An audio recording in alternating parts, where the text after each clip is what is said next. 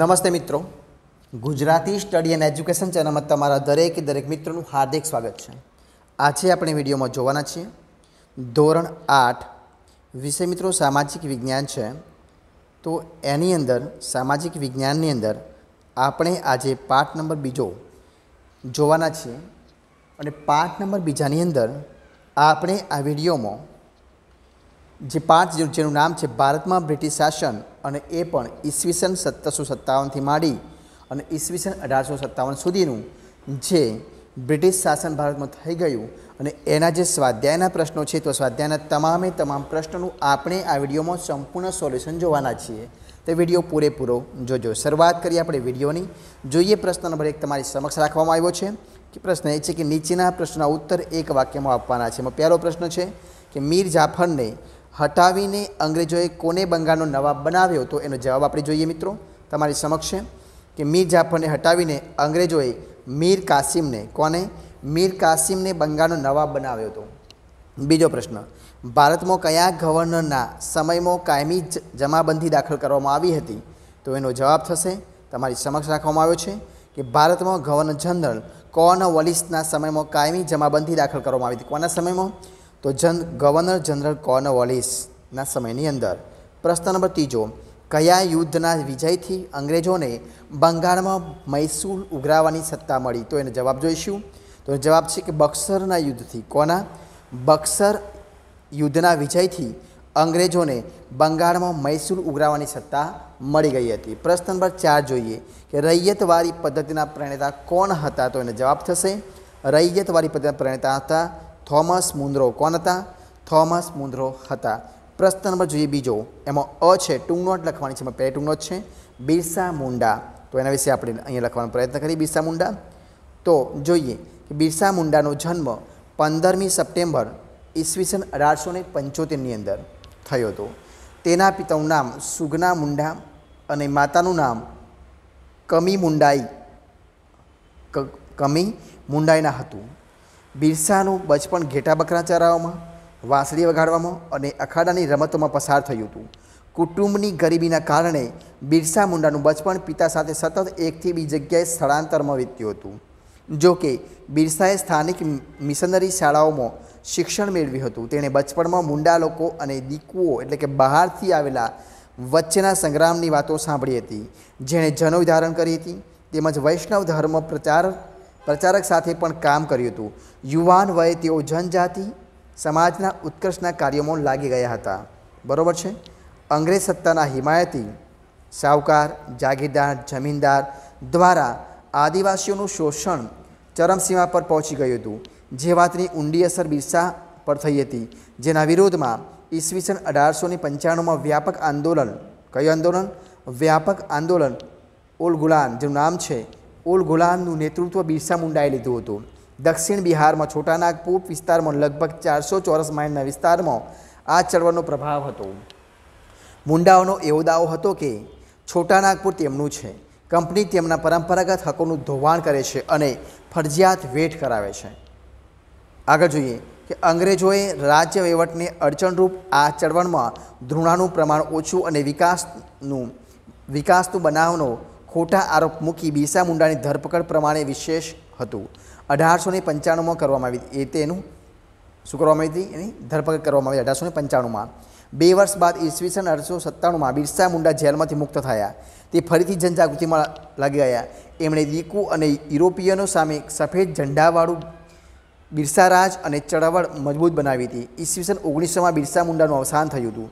બિરસા મુંડાની ચળવળ મંદ પડી અને અંગ્રેજો માટે સામ્રાજ્ય વિસ્તરવા વિસ્તારમાં મોકળું મેદાન મળી ગયું. હવે જોઈએ પ્રશ્ન નંબર જે છે, એટલે કે ટૂંકમાં બીજી, રૈયતવાળી પદ્ધતિ. એના વિશે આપણે ચર્ચા કરીએ. તો જોઈએ કે ઓગણીસમી સદીની શરૂઆતમાં ઈસવીસન અઢારસો વીસમાં મુંબઈ અને મદ્રાસ, એટલે કે ચેન્નઈ પ્રાંતોમાં રૈયતવાળી પદ્ધતિ લાગુ કરવામાં આવી હતી. તેના પ્રણેતા થોમસ મુન્દ્રો હતા. તે સમયે તેઓ મદ્રાસ એટલે કે ચેન્નઈના ગવર્નર હતા અને આ પદ્ધતિમાં જમીન ખેડનારને જમીનનો માલિક બનાવવામાં આવ્યો હતો. સરકારની શરત મુજબ ખેડૂતને જમીન મહેસૂલ ચૂકવવાનું હતું. આ પ્રથાથી જમીનની માલિકી હકનો કોઈ કાયદો થતો, સોરી, કોઈ ફાયદો થતો ન હતો. તેના કારણો આ મુજબના હતા. કયા કયા હતા? જોઈએ. નંબર એક છે કે જમીનનું વધારે પડતું મહેસૂલ. બીજું, સરકાર ઈચ્છે ત્યારે જમીન મહેસૂલમાં વધારો કરવાનો હક ધરાવતી હતી. ત્રીજો, કોઈપણ સ્થિતિમાં અનાજ ન પાકે કે નાશ પામે તો પણ તૈયાતે જમીન મહેસૂલ તો આપવું જ પડતું હતું. બરાબર છે? એના માટે કોઈ ફાયદો થતો ન હતો.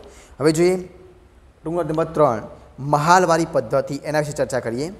તો જોઈએ મહાલવારી પદ્ધતિ શું છે? કે મહાલવારી પદ્ધતિનો અમલ ઉત્તર પશ્ચિમ પ્રાંતમાં અને થોમસ મુન્દ્રો મધ્ય ભારતના કેટલાક પ્રદેશોમાં થયો હતો. હોલ્ટ મેકેન્જી નામના અંગ્રેજ અધિકારી ઈસવીસન અઢારસો ને બોતેરમાં મહાલવારી પદ્ધતિ દાખલ કરેલ. બ્રિટિશ મહેસૂલી દફતર એટલે કે રેકર્ડમાં ગ્રામ અને ગ્રામના સમૂહ માટે મહાલ શબ્દ પ્રયોગ થતો હતો. મહાલનું એકમ ગ્રામ અથવા તો ગ્રામનો સમૂહ હતો. આ પ્રથા અનુસાર મહેસૂલનું એકમ ખેડૂતનું ખેતર નહીં, પણ સમગ્ર ગામ ગામ કે ગામની જમીનના સમૂહનો સમાવેશ થતો હતો. આ પદ્ધતિમાં ગામનું સર્વેશ, સર્વેક્ષણ કરી ખેતર અથવા ખેતરોના ઉત્પાદનની આવક વગેરે ધ્યાનમાં લઈ જમીન મહેસૂલ નક્કી કરવામાં આવતું હતું. આથી આ પદ્ધતિ મહાલવારી પદ્ધતિ તરીકે ઓળખાઈ જમીન મહેસૂલ કરવાની જવાબદારી ગામના મુખીને સોંપવામાં આવતી હતી. અંગ્રેજોએ પરંપરાથી ચાલી આવતી જમીન વ્યવસ્થામાં મૂળભૂત ફેરફારો કર્યા. પરિણામે ભારતીય ગામોની સ્થિરતા, સ્વાયત્તતા અને સાતત્ય છિન્ન ભિન્ન થઈ ગયા હતા. હવે જોઈએ પ્રશ્ન નંબર બનો બ. પ્રશ્ન બીજાનો બ જોઈએ. કે નીચેના પ્રશ્ન ઉત્તર લખવાના છે. એમાં જોઈએ પ્રશ્ન નંબર એક છે કે કાયમી જમાબંધીમાં કાયમી જમાબંધી પદ્ધતિમાં ખેડૂતોનું શોષણ કેવી રીતે થતું હતું, તો એના વિશે આપણે ચર્ચા કરીએ. કે જોઈએ કે આ પદ્ધતિમાં ખેડૂતનું શોષણ થતું હતું કારણ કે તેને નિશ્ચિત કરેલું જમ, કરેલું મહેસૂલ જમ, જમીનદારને આપવું પડતું હતું. જમીનદાર તેના પર જુલમ કરીને પણ મહેસૂલ વસૂલ કરતો હતો. જમીનદારે દર વર્ષે નિશ્ચિત કરાર મુજબની રકમ સરકારમાં જમા કરાવવી પડતી, તેમ છતાં કાયમી જમાબંધી જમીનદારોની તરફદારી કરતી હતી. આગળ જોઈએ. જો કે શરૂઆતમાં જમીનદારોએ થોડું સહન કરીને નક્કી કર્યા મુજબનું મહેસૂલ આપવું પડ્યું. જે મહેસૂલ ના ભરી શક્યા તેમની જમીન જપ્ત થઈ. પણ પાછળથી જમીનદારો જમીન ખરીદવા લાગ્યા. સરકારને ખેડૂતના વિકા, વિકાસમાં રસ નહોતો. પરિણામે બંગાળમાં ખેડૂતોના ઘણા વિદ્રોહ થયા અને અન્ન ભંડાર તરીકે ઓળખાતું બંગાળ કંગાળ બન્યું. જોઈએ પ્રશ્ન નંબર બીજો. અઢારમી સદીમાં ભારતમાં ખેતીની સ્થિતિ કેવી હતી? તો આપણે જોઈએ કે અઢારમી સદીમાં ભારતમાં ખેતીની સ્થિતિ આ આ મુજબની હતી. તો આપણે જોઈએ કે આ મુજબની હતી. આ પ્રમાણે કે રેશમની ખેતી અઢારમી સદીના સમયગાળા દરમિયાન પ્રવૃત્તિ ઇંગ્લેન્ડમાં કાચું રેશમ, સ્પેન અને ઇટાલીમાંથી આવતું હતું. જો દુનિયાના નકશાની મદદથી કેરેબિયન દેશોના બંગાળમાં થતું રેશમ હાથમાં આવી જાય, તો બ્રિટને સ્પેન અને સ્થાન શોધો. ઇટાલી ઉપર નિર્ભર રહેવું ના પડે.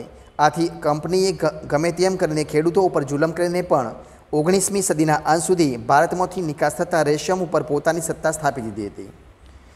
ગળીની ખેતી ઈસવીસન સત્તરસો નેવુંમાં સત્તરસો નેવું સુધી યુરોપીય દેશો ગળીનો પુરવઠો કેરેબિયન દેશોમાંથી મેળવતા હતા. પરંતુ તેનું ઉત્પાદન ઘટવાથી ભારતીય ગળીની માંગ વધવા લાગી હતી.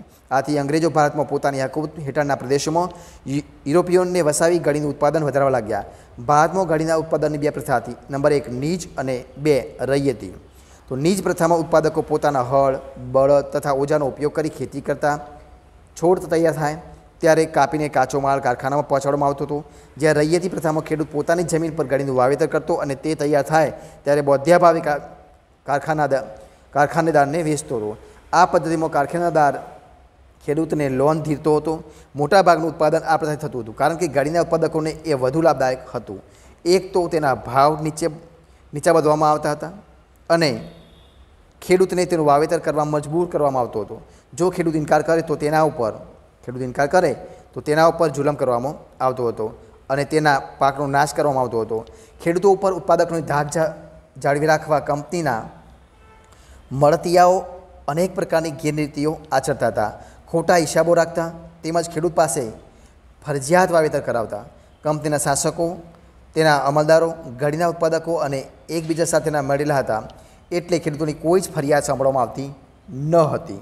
કપાસ અને અન્ય ખેતી કંપની ખેડૂતોને તે વખતે બજાર ભાવ કરતાં ઓછા ભાવે કપાસ વેચવા ફરજ પાડતી હતી.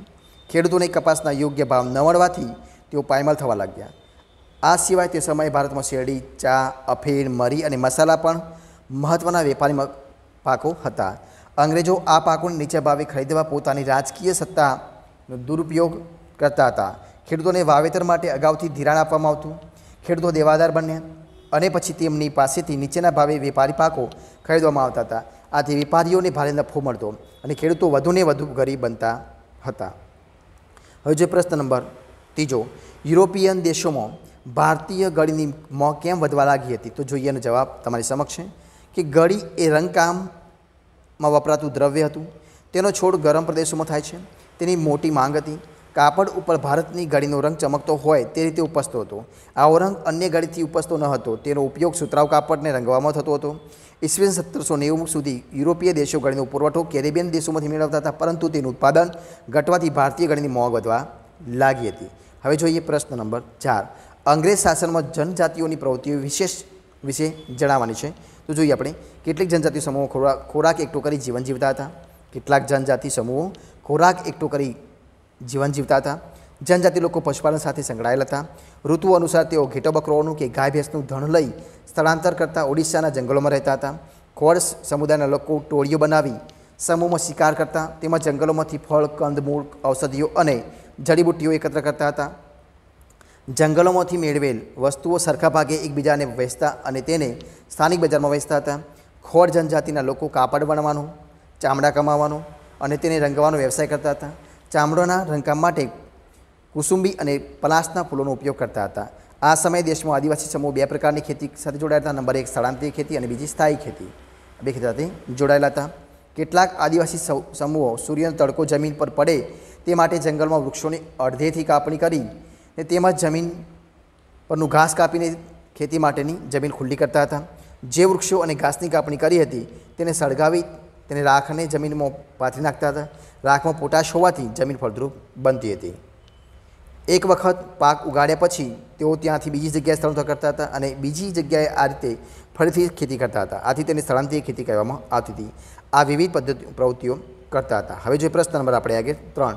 નીચે આપેલ વિકલ્પોમાંથી સાચો વિકલ્પ શોધીને ઉત્તર લખવાનો છે. એમાં જોઈએ, પહેલો, ભારતમાં ગળી ઉત્પાદનની કેટલી પ્રથા હતી? તો એનો જવાબ આવશે ઓપ્શન બી. બે પ્રકારની હતી, એટલે કે બી ઓપ્શન જવાબ સાચો આવશે. જોઈએ બીજો પ્રશ્ન. ઈસવીસન અઢારસો વીસમાં કયા બે પ્રાંતોમાં રૈયતવારી પદ્ધતિ લાગુ કરવામાં આવી હતી? તો એનો જવાબ થશે તમારી સમક્ષ આપવામાં આવે છે. નંબર બી, મુંબઈ અને મદ્રાસ, એટલે કે ચેન્નઈ, એટલે કે બી ઓપ્શન છે, એ જવાબ સાચો બનશે.